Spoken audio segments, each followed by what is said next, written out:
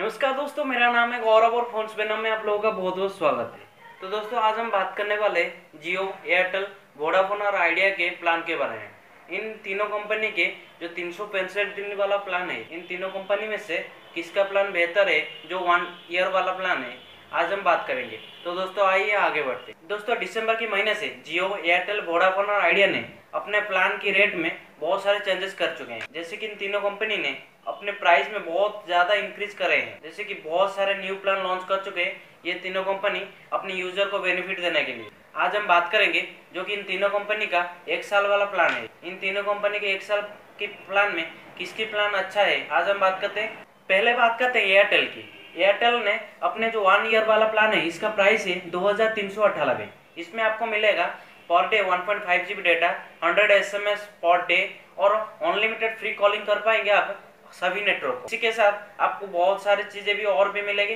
जैसे कि एयरटेल का एक्सट्रीम प्रीमियम वीडियो स्ट्रीमिंग हो गया और जी विंक म्यूज़िक सब्सक्रिप्शन और जी फाइव के साथ 370 आपको लाइव टीवी का भी सब्सक्रिप्शन मिलेगा एयरटेल के इस पैक में। फिर बात करते हैं वोडाफोन आइडिया की वन ईयर वाला प्लान इसका प्राइस है दो हज़ार तीन सौ निन्यानवे। इस इस प्लान में आपको मिलेगा per day one point five GB data hundred S M S per day और अनलिमिटेड फ्री कॉलिंग कर पाएँगे आप सभी नेटवर्क इसी के साथ आपको वोडाफोन प्ले और जी फाइव के प्लेटफॉर्म पर आपको जो प्रीमियम कंटेंट है उनका, आपको उसी का भी सब्सक्रिप्शन मिल जाएगा इस प्लान के साथ।